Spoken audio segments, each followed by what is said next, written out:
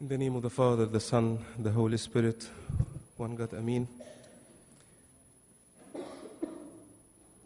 Today is the fourth week of the blessed month, Hatour, and we are getting ready to get into the blessed month of Kiahk, which on the 29th we will receive the baby born, our Lord, God and Savior and King, Jesus Christ. As we all heard today,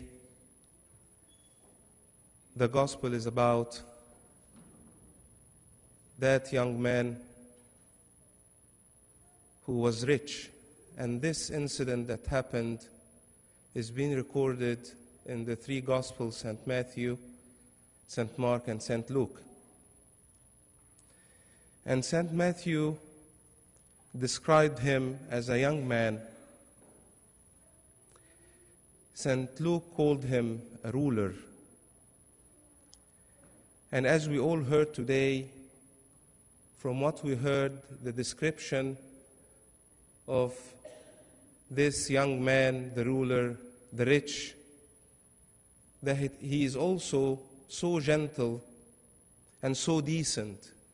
He came running to our Lord Jesus Christ and knelt before him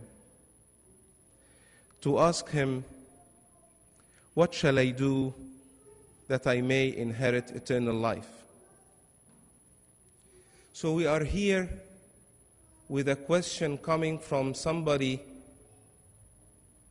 who lives a, a, a, rich living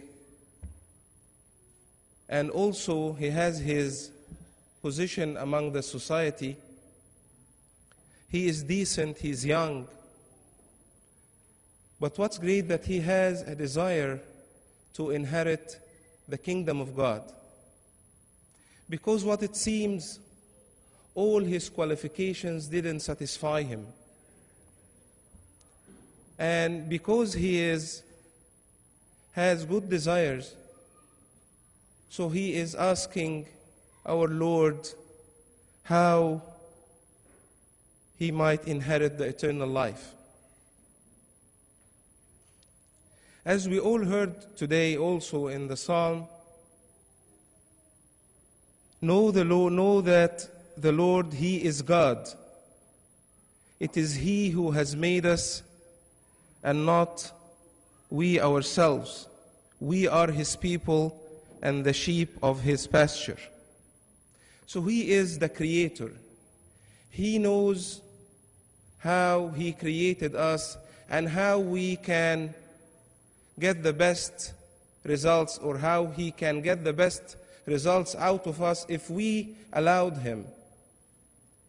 So, as this young man, ruler, and rich man asked our Lord how to inherit the kingdom of God, God showed him the way and proved to him that he already on the way and he started.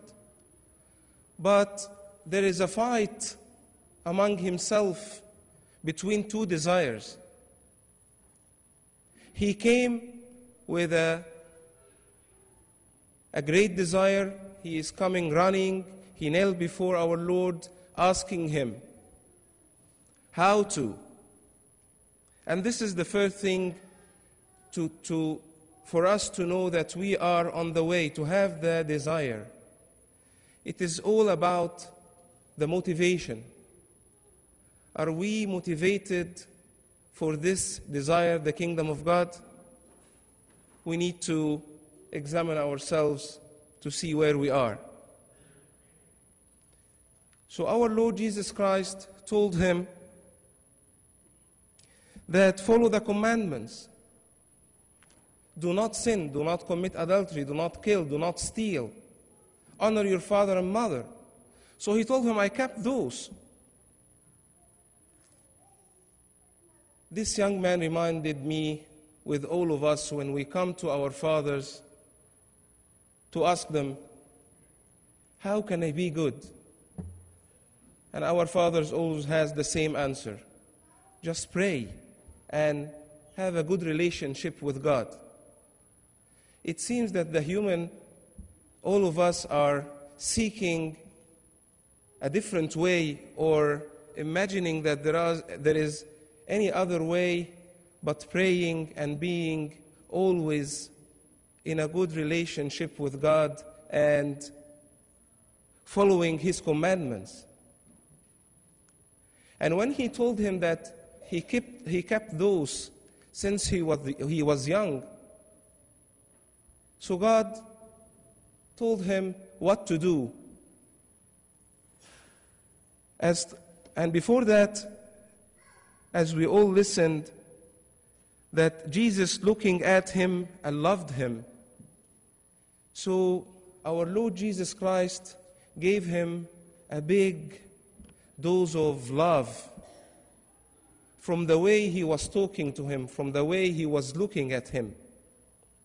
And then asked him, One thing you lack, go your way, sell whatever you have and give to the poor, and you will have treasure in heaven. And come, take up the cross and follow me. Here, our Lord Jesus Christ is guiding him to put all his righteous in action so as to free him from any other desire but the desire to obtain and to gain the kingdom of God. And usually, when we read this verse, we stop at that sell whatever you have and give to the poor and put full stop. Practically speaking, when we read carefully, we will see that our Lord Jesus Christ asked him to do a transfer. And to a transfer to where his treasures will never perish or go away. As he taught us, our Lord, in the Sermon of the Mount, for where your treasure is, there your heart, your heart will be also.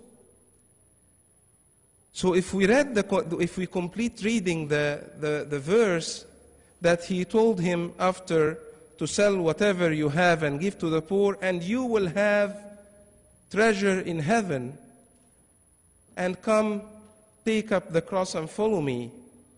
So the way for the kingdom of God is to free our hearts and minds from any other desire but His desire. To do a transfer, we are not losing, we are gaining. Thank God that we are blessed that in our church somebody long, long ago heard this verse and took it and applied it on his life. The great Saint Anthony. He heard it, he applied it, and as our Lord Jesus Christ responded to St. Peter when he told him that we, we left everything and we followed you.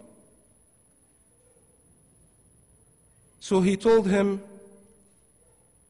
that whoever do that will receive a hundredfold now in this time houses and brothers and sisters and mothers and children and lands with persecution. And I think if St. Anthony sat with God to make a balance for what he gave and what he sacrificed and what he gained from that, I think it's way more than hundredfold. May God give us the desire and give us the ability to free our minds and our hearts from any love but Himself. Glory be to God forever. Amen.